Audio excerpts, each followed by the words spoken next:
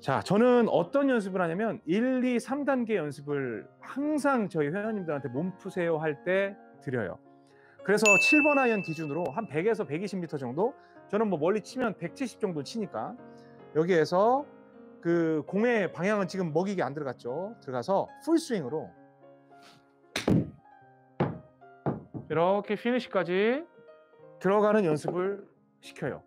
그러니까 정말 풀스윙을 살살 치라고 그래요. 그러면 몸이 움직일 수가 없기 때문에 결국에는 내가 손목의 의존도가 굉장히 높아집니다. 그러면 공을 어떻게 채는지를 알게 돼요. 자, 그러면 다시 한번 보세요.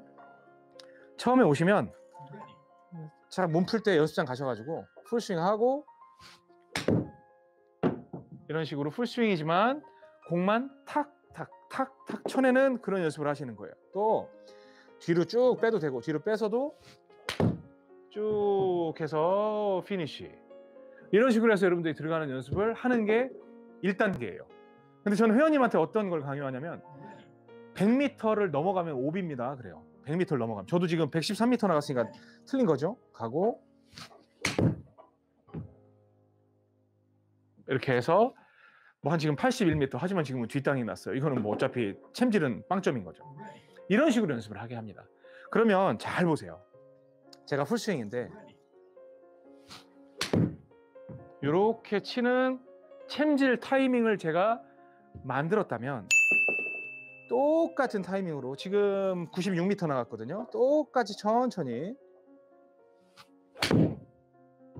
그 똑같은 리듬감에서 제가 가지고 있는 그 고유의 저만의 그 챔질 타이밍에서 챔질 포인트에서만 힘을 빡 줬더니 지금 177이 나오는 거예요. 다시 보세요. 여기에서 똑같이 천천히 가서 full 이런 식으로 해서 손목의 챔질 타이밍을 잡았어요. 그랬더니 지금 97m가 나왔어요.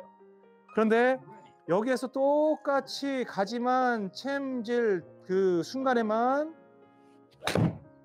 챔질 순간에만 힘을 써 주니까 어때요? 여러분들이 볼 때 지금 한 179 정도 나왔는데 여러분들이 볼 때 강 약의 차이지 실질적으로 힘을 주는 포인트가 같게 나온다는 겁니다. 그러면 지금 같은 경우는 제가 먹이기에 대해서 얘기를 안 했잖아요. 그러면 여러분들이 이렇게 숙여서 치는 요 라인만 잡게 된다면 이것도 마찬가지로 투 풀스윙으로 해서 이렇게 해가지고 먹이는 거 이번에 약간 뒷땅 그러면 챔질이 너무 빨리 해서 그러니까 좌우로 생각을 할때 그러면 이거에 대해서 똑같이 챔질 포인트를 가서 먹이기까지 들어가면 거리를 얼마든지 늘릴 수가 있다는 겁니다. 세게 치는 연습을 하잖아요. 세게 치는 연습을 하면 여러분들은 절대 손목이 어떻게 써지는지를 몰라요. 그래서 살살 치는 연습을 해야 되는데 살살 친다는 게 어떤 식의 살살이냐면 1, 10, 1이에요. 그러니까 백스윙 할 때 힘을 거의 1로만 쥐고 있다가 10, 그리고 다시 1인데 그 살살 치는 연습에서는 1, 한 뭐 한 3이나 5, 다시 1이 되겠죠. 그래서 풀스윙 정말 귀찮아야 돼. 아우.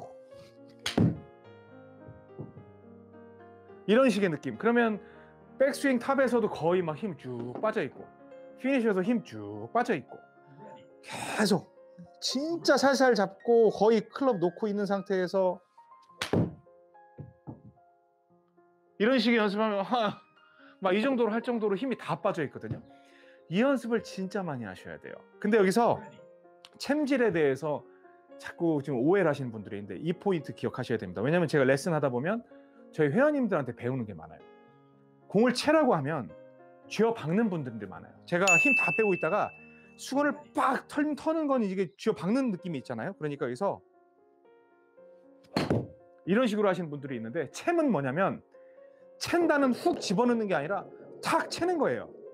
채는 거예요. 그러니까 공만 여기에서 내가 손목을 이용을 해서 이런 식으로 채서 공만 걷어내는 거지 공을 확 쥐기 위해서 땅바닥으로 들어가는 게 아니라는 겁니다. 그 점을 꼭 명심하시기 바랍니다. 그래서 챔질 포인트, 그래서 챔 타이밍을 갖다가 어떻게 만들 건지 누구 따라하지 마세요.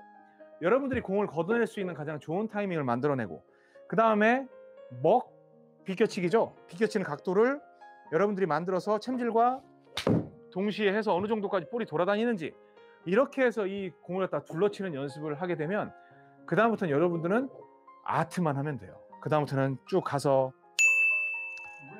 그 뭐 저 우측으로 좀 보내볼까 해서 쭉 우측으로 보내도 우측으로 출발한 것 같지만 결국에는 쭉 가운데로 돌아오면서 항상 예측 가능한 공을 칠 수가 있어요. 이게 뭐 옥 선생이어서 그런 게 아니잖아요. 여러분들 그 직접 출연하신 분들이 어떻게 공이 만들어지는지 보셨잖아요. 그렇죠? 그래서 오늘 진짜 드리고 싶었던 건 뭐냐면 1단계, 2단계, 3단계인데 아까 정말 살살 치는 게 1단계.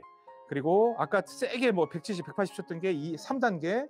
여기서 좀 세게 친다면 한 이렇게 툭 때려서 내가 보낼 수 있는 지금 한 140, 50 정도 나갈 것 같은데 이렇게 툭툭 중간 정도. 그러니까 어, 약, 중, 강으로 해가지고 여러분들이 연습을 계속 하셔야 돼요.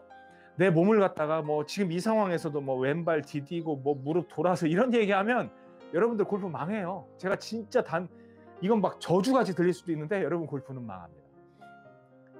저는 지금 몸 동작에 대해서 하나도 얘기를 안 했어요. 뭐 발을 디디고 무릎을 나가서 뭐 힙턴을 하고 그래서 항상 공을 보면 아우 뭐 오늘 몸 푸는데 막 이런 거 하잖아 막 이렇게 몸 풀고 그다음에 딱 가서 아유 툭툭 쳐면서 어 오늘 잘 안 먹여지네 뭐 먹여지네 이런 식의 어떤 여러분의 타이밍을 가지시기 바랍니다. 아셨죠? 그래서 오늘 제가 드리는 레슨은 이 정도로만 하고요. 골프 레슨은 이병옥 골프학교에서 좋아요, 구독은 덤. 골프용품은 옥스윙몰에서 좋아요, 구독은 덤.